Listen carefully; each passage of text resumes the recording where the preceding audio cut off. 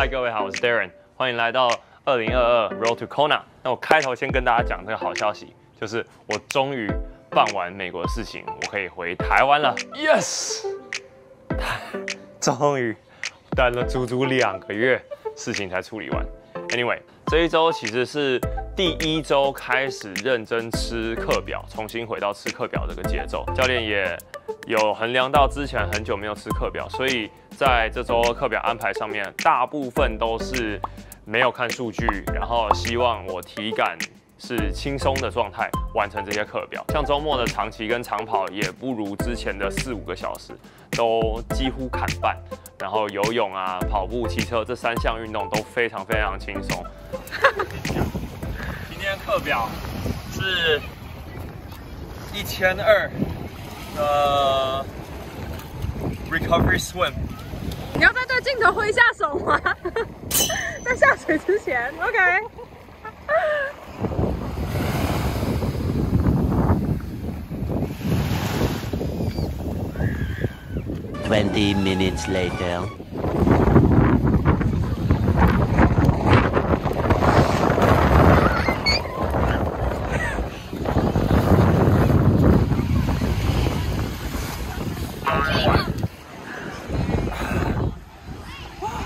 很冷呢，我天哪！好冷啊！有到发抖。不过，即便这么轻松，我还是明显感觉到运动完肌肉的酸痛程度跟以前比起来更严重一点。或许是因为很久没有训练，也有可能是因为真的增重了，所以 I have to work harder 才能够 keep up 以前的这个强度。尤其是在跑步这方面来讲，特别明显。同样是五分速，以前可能心跳只有一百一、一百二。但是现在光要跑到五分半，可能心跳就一百三、一百四。不过这种东西只能就是慢慢累积。那现在我觉得最主要的是到 Kona 之前，还有差不多剩八个礼拜，能够不受伤，乖乖的一步一脚印把教练给我的课表安全的吃完。其实在这八周是有机会可以回到之前。巅峰的状态，因为这一周的骑车跟跑步时间相对都比较短，再加上开出来的强度都是体感的轻松，所以在这种情况下，我也顺带在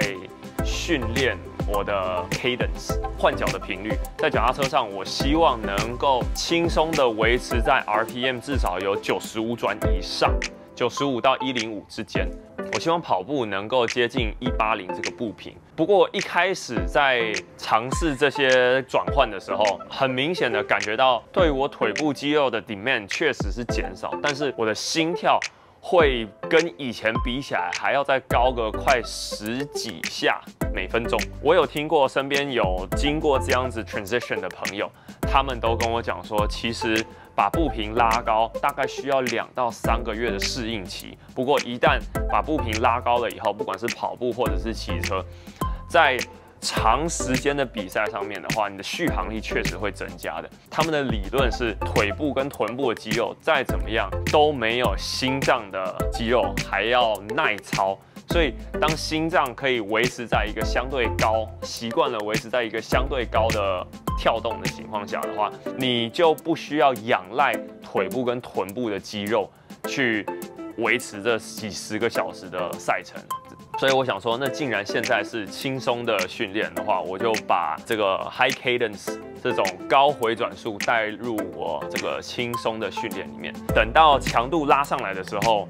我想可能就不太适合去练这些，我会认为这些是基本功，因为当强度拉上来的时候，要顾的东西太多了。再想要改动作，想要去改习惯的话，我觉得这时候才是比较容易受伤。所以就抓准这几周可能是比较轻松的课表的时候，顺便习惯一下高回转速，也希望可以就此让我的心肺恢复的比较快。